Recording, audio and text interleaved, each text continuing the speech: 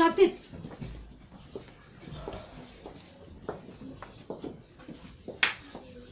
Țop, țop, prin hârtop, pe furiș, prin tufiș, pe săptămâna zi de răchită, nevăzută, neauzită, trece alene, duș alene.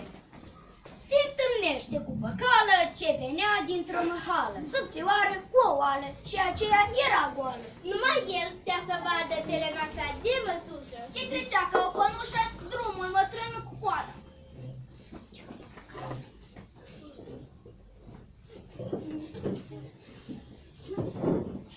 Mătușică Lene!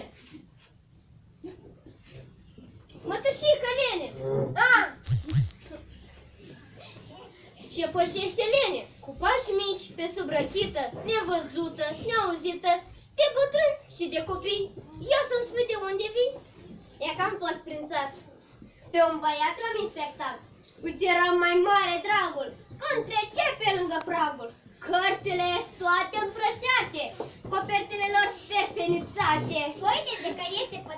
pătate, creioanele prin unghiere. Îl admir cu mare plăcere. Dar asta e, mai păcală, am primit o carte poștală, unde negru pe alb scrie că ce băiețaș, Ilie, cel socote disciplinat, se puse pe învățat. Bravo! În ultima săptămână, crede-mă, că bătrână n-a fugit nici de la o lecție și am fost la el în inspecție. Vai, ce neîmbrăsare! Zice, păcală cu mirare. Mătușică Lene, a! Ce pășește Lene, cu pași mici, pe sub răchită, nevăzută, neauzită, fără de papuci. Ia să-mi spui, tu unde te duci? Vreau să trec pe la o fetiță, cea mai harnică zoiță. Nu și-a spălat niciodată bluzița. Azi am o știre, că mă scoate din fire. Această fetiță, harnică zoiță, ieri dimineață s-a spălat pe față și-a clădit urechiușele, și-a curățat mănușile, și-a lustruit ghetele și cu toate fetele din mahală la timpul a ajuns la școală. Bravo! Ei, spune și dumneata, mai păcală, cum să nu-i cer socoteală? Și asta de mirare, și asta e neobrăzare. Mătușă, să-ți spun adevărat, asta e culmea la pătrat. Dar când te bă, bătrână, cum e și într-o rână? Până ajungi măta la fetiță, până ajungi măta la zoiță. Ai de mers atâta cale, zău mi se face vale.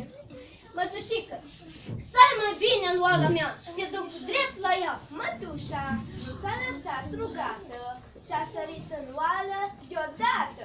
Păcală în fuga mare, caută cât pe buzunare, astupă gura la oală și începe a striga, uite așa. Oameni buni, oameni buni, am prins lenea cu coană, s-a prins în capcană. Și prin, a ieșit de prin caseri, băieții și fetițele noastre. E bucurie că lenea în capcană s-a prins, o horă mare s-a închis. Ce să facem cu lenea din ală? Ce să facem cu lenea din ală? Întrebă pe fiecare păcală. S-au gândit, s-au sfătuit și în sfârșit, vă spun, au ajuns la un gând comun.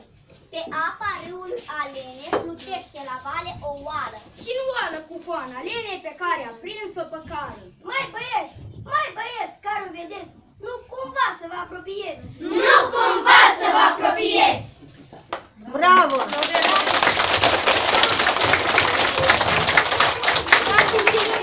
Dar de ce să nu vă apropiați? De ce să nu vă apropiați? De ce? Noi din nou vom fi noi. Așa, corect! Că prindem și noi lenea, așa? Bine? Este așa toată